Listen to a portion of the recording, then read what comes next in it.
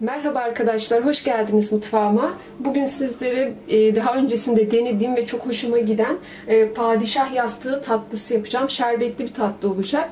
Öncelikle e, çok az malzemem var. O kadar çok yoğun bir malzemeyle yapmıyoruz. Şöyle 4 adet yumurta beyazını köpürene kadar çırpacağım. Bu bir 5-6 dakika sürecektir.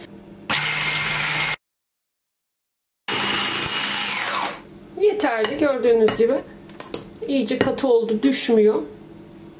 Yumurta akını kenara alıyorum. Orada beklesin. Ben hemen diğer malzemelerimi karıştırayım. 4 adet yumurta sarısı. Yarım su bardağı toz şeker. Bu tarifte de kullandığım bardak gene 200 milimlik. Yarım su bardağı da ılık su ekliyorum. Vanilyayı da ekliyorum. 2-3 dakika boyunca çırpacağım. Yeterli. Gördüğünüz gibi iyice köpürdü. Unumu ekliyorum. Şöyle 2 su bardağı unu eledim ben. Onu ekliyorum. Eğer az gelirse biraz daha ekleyeceğim. Siz de yavaş yavaş ekleyin. Biraz karıştırdıktan sonra unu yeterli bu arada. Kabartma tozunu ekliyorum. Gördüğünüz gibi katı bir kıvam aldı sorun değil. Şimdi yumurta beyazlarını koyduğumda normale dönecek. Hemen şöyle. Artık bundan sonra mikseri kullanmıyorum. Yumurta aklarını yavaş yavaş ekleyeceğim.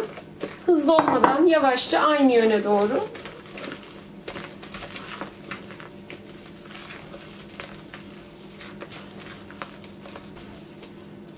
Üç aşamada ekleyin.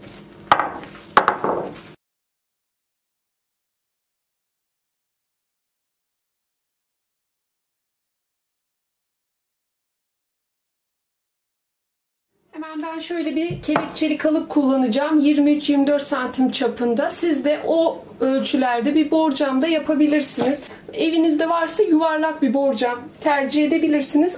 Eğer yağlı kağıt kullanmayacaksanız içerisini katı yağıyla bolca yağlayın. Borcamla da aynı işlemi görebilirsiniz. İçerisine yağlı kağıt da serdim. Birkaç kere vurun. 170 derecelik alt üst ayarda dikkatlice pişireceğim. Kürdanla kontrol edin siz de. Eğer piştiyse fırınınızdan alabilirsiniz. Tatlının şerbetini yapacağım. Aslında daha önce onu yapmam gerekiyordu ama tamamen unuttum. 2,5 su bardağı toz şekeri tencereme alıyorum. Üzerine 3 su bardağı da su ekleyeceğim.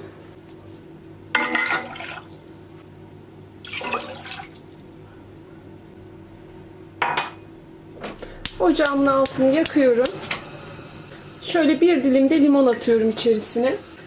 Kaynamaya başladıktan sonra 20 dakika kaynatıp ocaktan alacağım. Tatlımın kekini fırından çıkardım. Gördüğünüz gibi çok fazla kızartmadım. Düşük ayarda bir 30 dakikada pişti. Şerbetim de aynı şekilde çıkartalı ortalama 1,5 saat oldu. iyice soğuması gerekiyor. Ona dikkat edin lütfen. Şerbetiniz de soğuk olsun. Kekiniz de. Hemen arası için bir krem şanti çırpacağım. 2 paket krem şanti kabımın içerisine koyuyorum. Normal arkasındaki ölçülerden sütünü biraz daha az koyun. Normalde bir pakete bir su bardağı ben iki pakete bir buçuk koyacağım. Çünkü koyu bir kıvam olmasını istiyorum. Bir buçuk koydum. Katı bir kıvam alana kadar çırpıyorum. Yeterli. Krem şanti kenara alıyorum. Kekimi kalıptan çıkaracağım. İlk önce şöyle kenarlarından açıyorum ki hava alsın.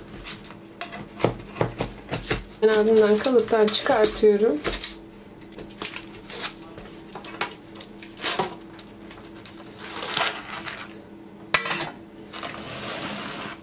ince gözükebilir ama arasına krem şanti koyacağım için gayet iyi olacak.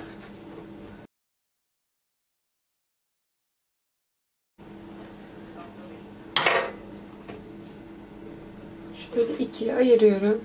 Alt tarafını tekrar kalıbın içerisine oturtturuyorum. Şerbetin yarısını alt tabanına yarısını da üste koyacağım.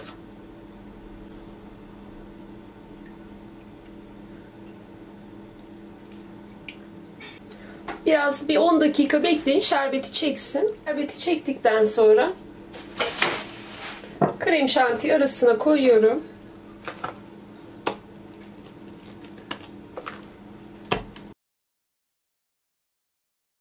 Şöyle bir kaşıkla yayıyorum.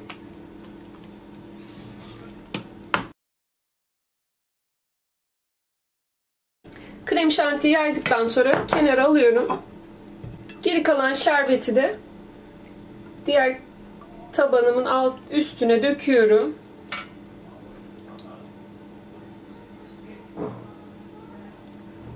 Hepsini dökmedim. Birazını da öbür tarafa dökeceğim. Şöyle hemen ters çeviriyorum.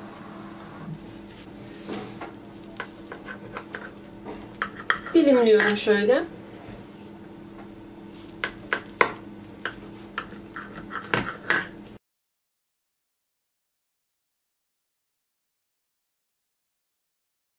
Dilimleri üzerine yerleştiriyorum.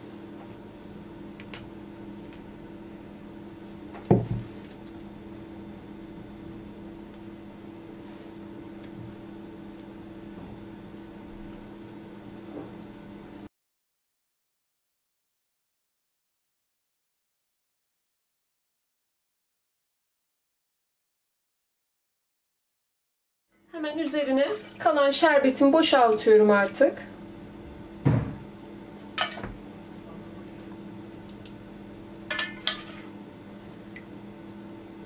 Şöyle bir bıçakla aralarına çekmesi için. Dolaba kaldırıyorum. Toplamda en azından 2 saat dinlendirdikten sonra servis yapacağım. Padişah yastığı tatlımı toplamda 2 saattir dinlendiriyordum. Ee, eğer vaktiniz varsa akşamdan yapın ya da daha fazla dinlendirmenizi tavsiye ederim. Hemen şöyle üzerine hindistan ceviziyle süsleyeceğim.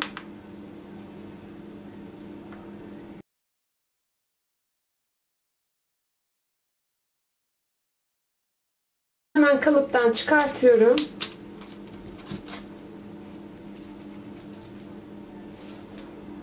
Kestiğim yerlerden aynı şekilde yine kesiyorum.